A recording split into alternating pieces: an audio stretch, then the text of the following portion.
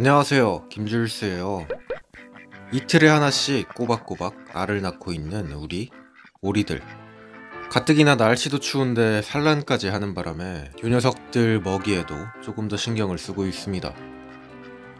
무공에 사과도 썰어주고 양배추도 썰어주고 사료도 이것저것 섞어서 주고 있습니다.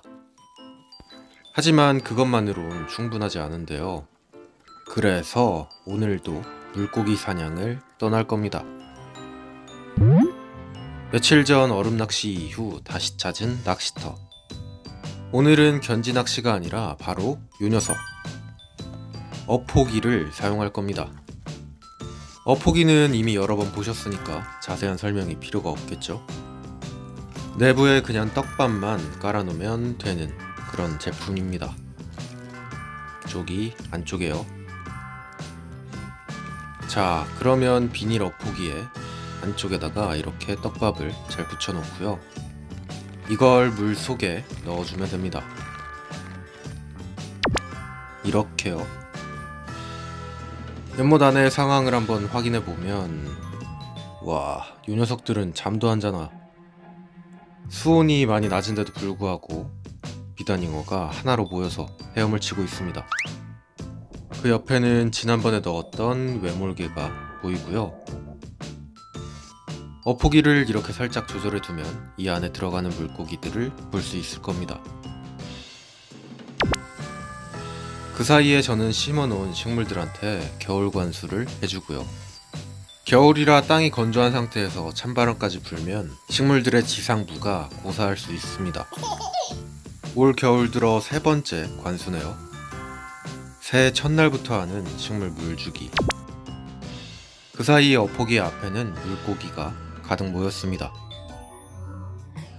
하지만 먹일 수가 없는 비단잉어 사료를 주지 않은 지꽤 됐더니 잡아야 되는 조그만한 외몰개보다는 저렇게 덩치가 큰 비단잉어만 모여들고 있습니다. 지난 가을에는 돌 청소를 안 했더니 분진이 장난이 아닙니다.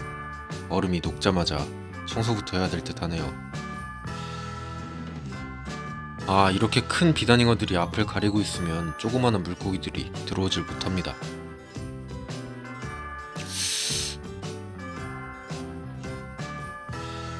한 녀석은 아예 비닐 어포기 앞에서 먹이를 향해 돌진하고 있어요. 이러다 비단잉어 잡겠는데요.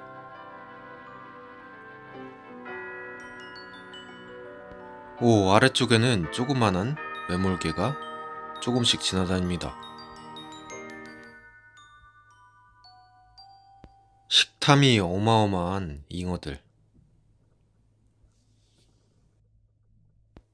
와 뒤쪽에는 오래간만에 보는 얼굴인 철갑상어도 나타났습니다. 이러다 연못에 있는 물고기들이 다 오겠네요.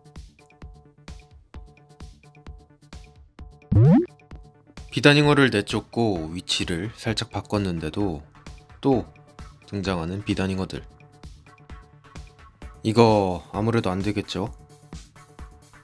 촬영할 때는 몰랐는데 어째 고기가 하나도 안 잡혀서 보니까 이런 상황이었습니다. 아예 다 부수겠네요.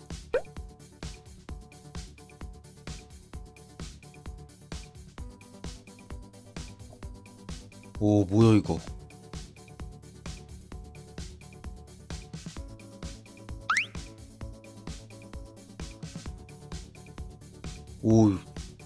깜짝아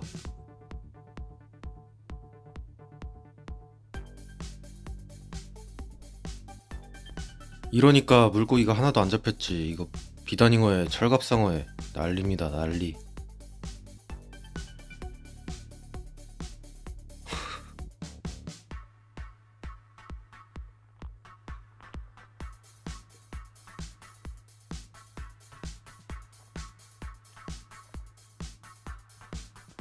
아예 어포기 앞쪽까지 진출한 절갑상어 옆에는 외몰개가 지나가지만 저 녀석은 먹이를 먹을 용기를 내지 못합니다.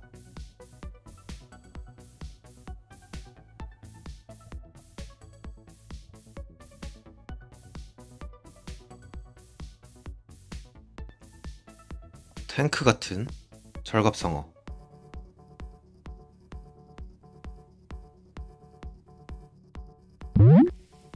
식물에 물을 다 주고 확인을 하러 왔더니 이상한 게 잡혀 있습니다. 긴 꼬리 잉어. 이 녀석은 먹일 수가 없으니까 풀어줄게요.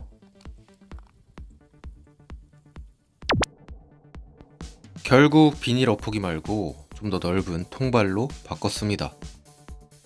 비단잉어의 철갑상어, 금붕어까지 입구에서 죽치고 있는데 비닐 엎어기는 너무 입구가 작고 조금 더 큰 통발이 낫지 않을까요?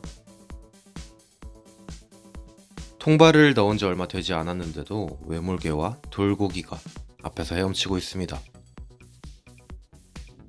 와, 숫자가 꽤 많죠? 외물개 1200마리가 다 어디 갔나 했는데 여기저기 숨어 있었나 봅니다.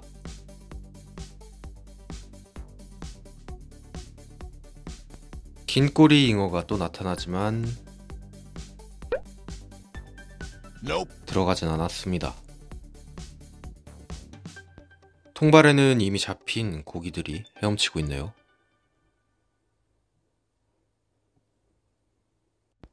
여지없이 또 등장한 철갑상어.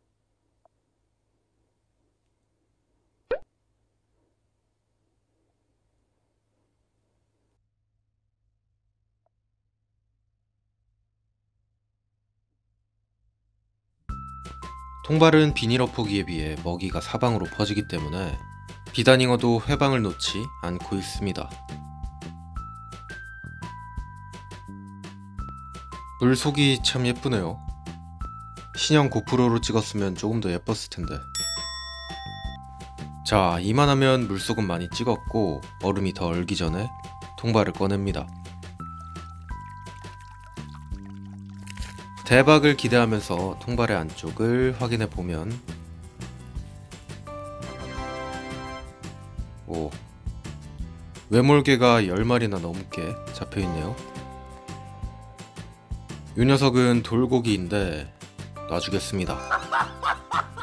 돌고기는 이끼를 먹고 또 연못의 마리수가 그렇게 많지 않아요. 나머지를 가지고 우리 오리들한테 가봅니다. 일로 와봐.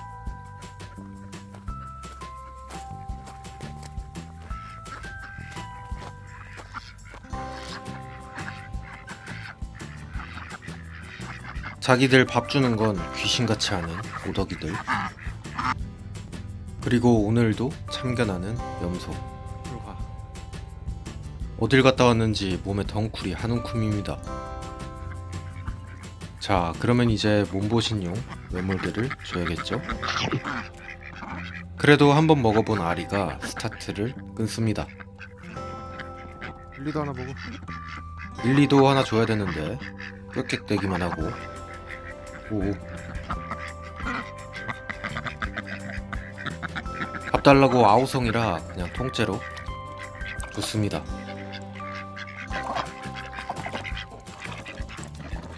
오.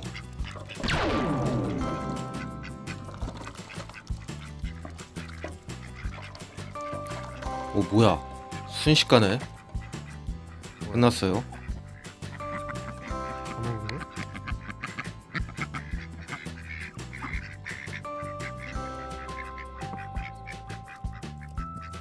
순식간에 다 먹었네. 10마리가 넘게 있었던 외몰개가 1초도 안 돼서 사라졌습니다. 이젠 물고기 맛을 알았는지 생각보다 훨씬 잘 먹네요. 남은 건 따뜻한 둥지에다 알만 잘 넣어두면 됩니다. 오늘의 영상은 여기까지 보여드릴게요. 아, 감사합니다. 김줄스였어요. 뿅. 맛있니?